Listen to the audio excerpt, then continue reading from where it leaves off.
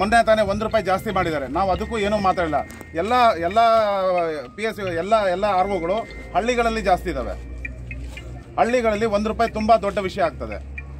ಇದರಿಂದ ನಮಗೆ ಮಾರಾಟ ಮಾಡಲಿಕ್ಕೆ ತುಂಬಾ ತೊಂದರೆ ಆಗ್ತಾ ಇದೆ. ನಮಗೆ ಅಲ್ಲಿ ಇರೋಕ್ಕೆ ಆಗ್ತಾ ಇಲ್ಲ.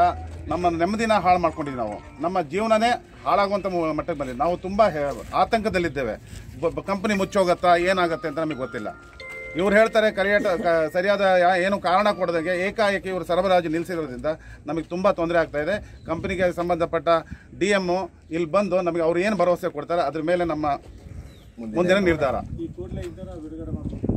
ಈ ಕೂಡ ಹಾಗೂ ಈಗೇನು ಯಾರ್ಯಾರು ದುಡ್ಡು ಹಾಕಿದ್ದೀವಿ ಮತ್ತೆ ಏನು ದುಡ್ಡು ಹಾಕ್ತಾರೆ ಕಂಪ್ನಿ ನಿಲ್ದಂಗೆ ಈಗ ಆರ್ ಒ ಸ್ಟಾಪ್ ಆಗ್ದಂಗೆ ಕಂಟಿನ್ಯೂಸ್ ಆಗಿ ಸಾಫ್ಟಾಗಿ ರನ್ ಆಗಂಗೆ ಅದೇನು ತಾತ್ಕಾಲಿಕ ಪರಿಹಾರ ಮಾಡ್ತಾರೆ ಅದನ್ನು ಈಗ ಮಾಡಲಿ.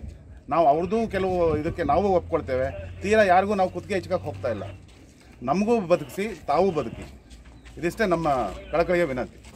ಥ್ಯಾಂಕ್ ಯು ಇಷ್ಟಲ್ಲದೆ ನಮ್ಮ ನೂರಾರು ಪಪ್ಪಿನ ಮಾಲೀಕರು ಕೆಲವು ಟ್ರಕ್ಗಳನ್ನು ಬ್ಯಾಂಕಿನ ಲೋನ್ ಮಾಡಿ ಟ್ರಕ್ಗಳನ್ನು ತಗೊಂಡಿದ್ದಾರೆ. ಸುಮಾರು ಹತ್ತು ಹದಿನೈದು ದಿವಸದಿಂದ ರಾಜ್ಯದ ವಿವಿಧ ಕಡೆಯಿಂದಲೇ ಟ್ರಕ್ಗಳು ಬಂದು ನಿಂತ್ಕೊಂಡಿದ್ದಾವೆ.